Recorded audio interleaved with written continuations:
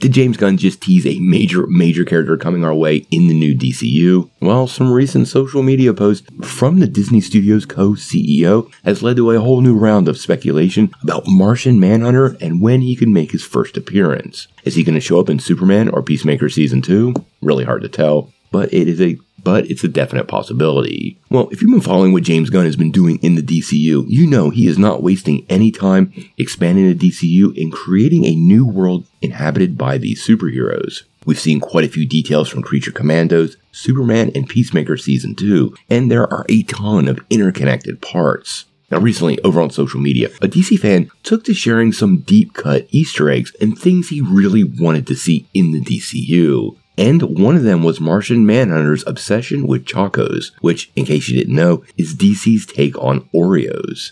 Now, typically, a lot of these things do not get a response from James Gunn, and this was a rather long thread of, of a lot of DC suggestions. But Gunn actually grabbed that Chocos post and responded. In his response, he said, quote, Gosh, DC Official is full of such fun lore. Can't wait to see some of these moments and thousands more like it on the big and small screen. Thanks for the fun thread, Captain Mahondo and he posted a picture of Chocos. Now, this picture he posted of Chocos, I suspect, is the official DCU design. And during the filming of Superman, we did see a couple of teases to the classic cookies. Now, here's the thing to take away from this and what's important. Gunn had a lot of things to respond to there, and this thread that Captain Mahando posted, well, it had a lot of suggestions. So the fact that he picked this one out and said something, well, I think is a big deal. If you follow Gunn on social media for a long period of time, you have absolutely noticed he teases stuff very early in development. The Superman logo was teased by Kingdom Come the day he took over. He has posted lots of pictures and comments on comic posts that turned out to also be true. So I don't believe for a microsecond that Gunn responded to this Chocos post with anything but intent to tease the fans. Now, when this means Martian Manhunter could join the DCU, that is a huge question, and I don't think it's going to be in Superman. Now, we do know Supergirl is right around the corner, and seeing as he's an alien, that might be a kind of good place, but if you know the Woman of Tomorrow's story, that doesn't fit.